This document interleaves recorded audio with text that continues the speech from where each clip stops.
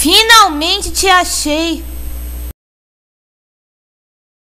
Vai continuar sendo teimosa, é? Me desculpe, falei muitas besteiras.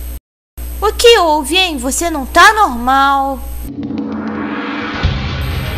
Eu também comecei a pensar que não me importo mais.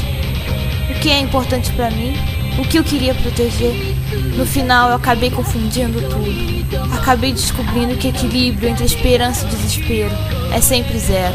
Você já me disse, não é? E agora eu entendo.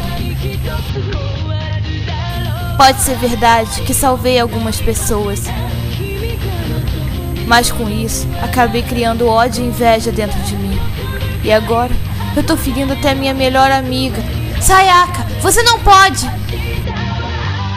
Se eu desejei felicidade, outra pessoa terá tristeza. E é assim que somos nós. É o destino das garotas mágicas.